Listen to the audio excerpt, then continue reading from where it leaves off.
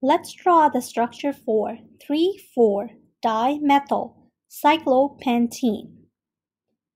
Pent right here tells us that there are five carbons present in the longest carbon chain.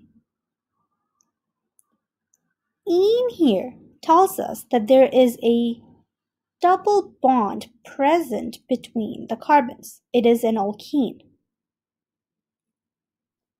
Now, when we see the word cyclo, this means that the longest carbon chain is arranged in a ring. Every time you see the word cyclo, you have to draw a ring.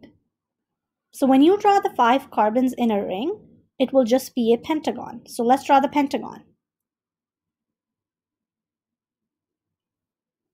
Now we drew our pentagon. Now we have to add the double bond.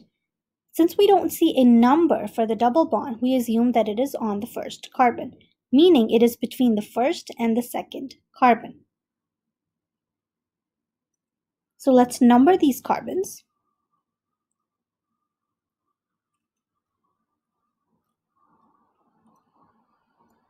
Let's draw the double bond between the first and the second carbon.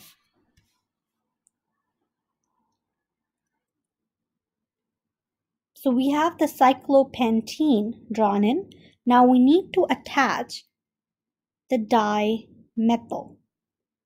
Dimethyl means that there are two methyls attached to this cyclopentene, one on the third carbon and one methyl on the fourth carbon. So we have a methyl on the third carbon here and we have a methyl on the fourth carbon here.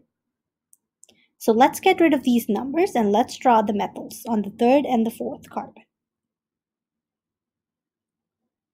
So this is the structure for 3,4-dimethyl cyclopentene. Or you can also call it 3,4-dimethyl cyclopent 1-ene. Thank you for watching and don't forget to subscribe to my channel.